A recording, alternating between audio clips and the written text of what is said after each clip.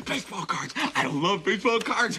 Got 'em, got 'em, need 'em, got 'em, got 'em, got 'em, need 'em, got 'em, need 'em, need 'em, got 'em, get 'em, got 'em, got 'em, need 'em. Welcome to another episode of Remember the Greats Sports Pickups videos.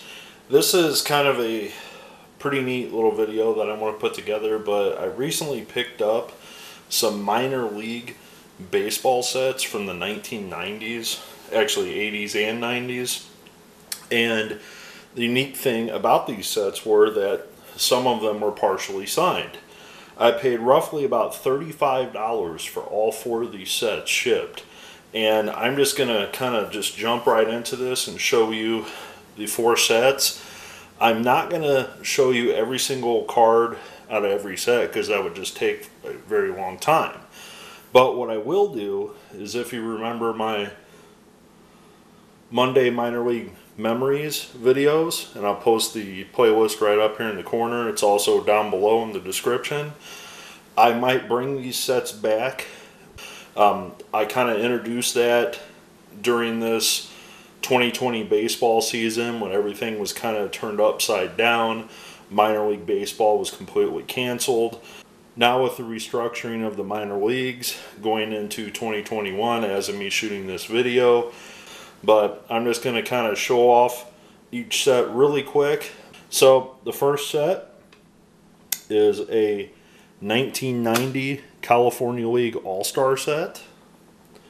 The second set is the 1988 AAA All-Star set. The next set is the 1990 AAA All-Star set. So basically the same set, just different years. And finally, the 1989 Southern League All Star set. And just to kind of go through these really fast, I paid $35 for all of them, and that's with the autographs. And the reason I bought these sets is I actually already owned all these sets. And you're going to be like, why'd you buy them again? Because the cards were signed. When it came down to it, I couldn't have sent these cards cheaper to the athlete themselves than what I paid for these sets. Meaning, for example, the California League set. It has one, two, three, four, five, six, seven, eight, nine, ten, eleven, twelve, thirteen, fourteen autographs. Now, if you do the math on 14 autograph requests, Okay? That's about $14 just to write these 14 people with a request in the mail and a self addressed stamped envelope to get it back. I got the entire set for less than $14. So, again, really quick, I'm just going to shuffle through these really fast. And again, we'll go through them at a future date.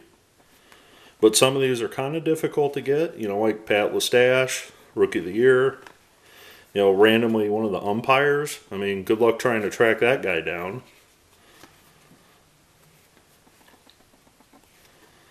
And what this did is this just really filled out some set holes for me. Now some of these guys are still around.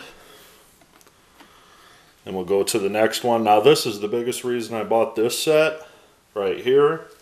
And that is an autograph of Bob Sebra. And Bob Sebra recently passed away in 2020, so it is now impossible to get this card signed. So I saw it signed, so I pulled the trigger. And again, some guys that made some appearances in the major leagues, nothing major.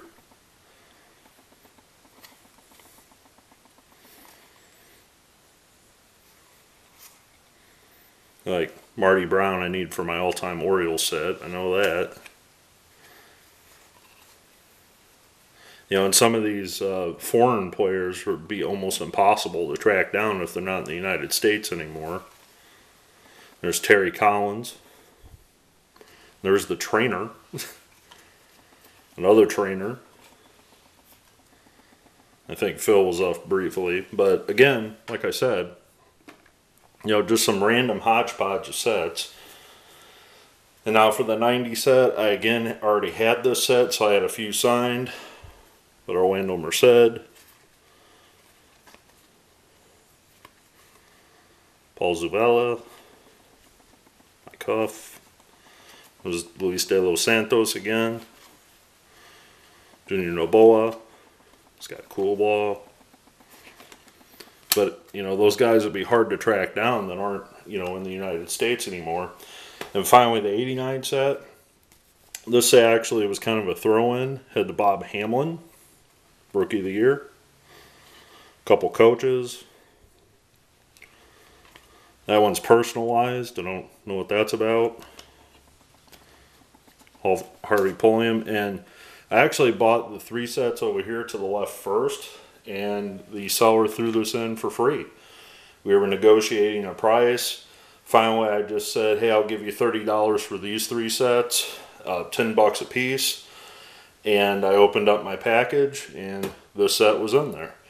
So as of me shooting this video, I actually went back to the seller and I just bought three more sets and we're trying to work out a bigger deal. So after I get those, I will definitely shoot a video and post them as well. Tell me what you think of these sets. This is kind of right up my alley in collecting autographs. I've been collecting autographs, team sets for years. These are team sets that were around before I was in the autographing business, but these are great because again, like I said, I already own all these sets already, and now I'll be able to send a few out in the mail and not fear that I'm going to lose them in the mail because I have a backup set already in place. So thanks for watching. Tell me what you think. Look forward to your comments below.